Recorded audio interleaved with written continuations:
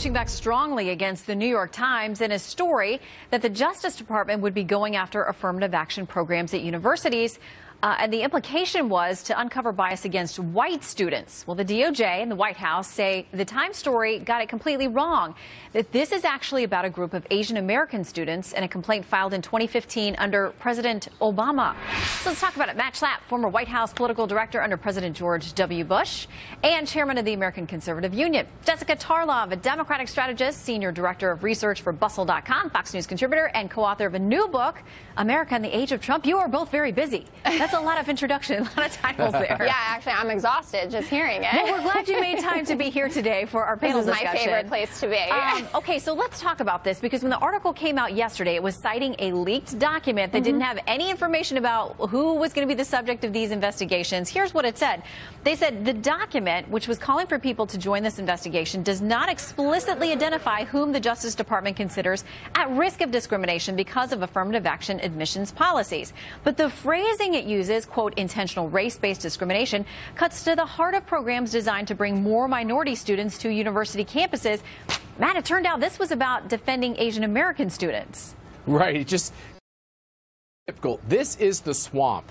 These are the leaks that we're actually used to trying to explain in Republican administrations. As we all know, most of the bureaucracies in Washington, D.C. are dominated by career employees who are left-leaning and uh, favor the Democrats. And when they see a Republican president coming in with an agenda, and certainly part of the Trump agenda is to scrutinize programs like this, they will often leak it to their friends in the press and then get the, the administration to put the brakes on it and say, actually, we weren't going to do that. So I hope that the Department of Justice doesn't overreact with this story and stop this, this very reasonable attempt, if they're doing it, to scrutinize affirmative action programs and make sure that these programs aren't actually discriminating against Americans. All right, here's what we have from the Justice Department saying this. The posting sought volunteers to investigate one administrative complaint filed by a coalition of 64 Asian American associations in May 2015 that the prior administration left behind unresolved.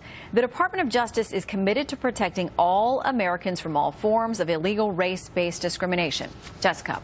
No, it makes sense. I mean, obviously they've explained now what happened, but I, I, don't think it was that much of a leap for the New York Times or for anyone to have cause for concern about what this administration thinks of the value of diversity.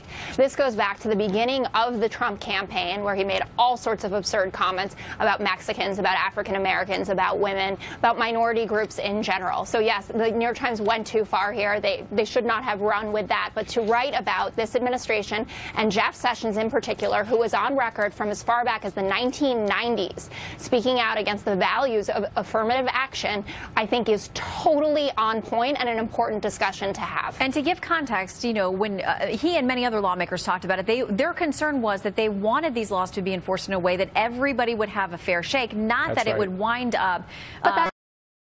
But punishing it, people this is the, um, uh, but if you look at their race. I understand that, Shannon, here. and we all want everything to be as fair as possible, but we can't deny the fact that this country has a long history of discrimination against minorities of all kinds, right? That's racial minorities, ethnic minorities, socioeconomic minorities.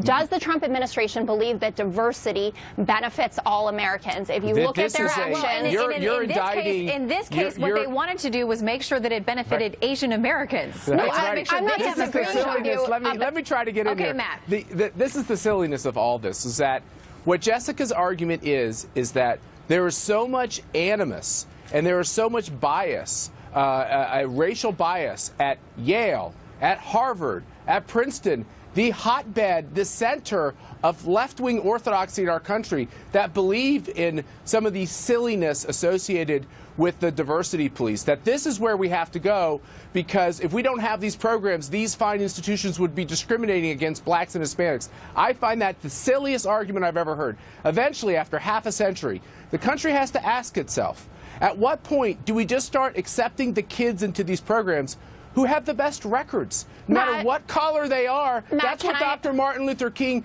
tried to get this country to accept. And at some point, Jessica, you've got to let these programs go.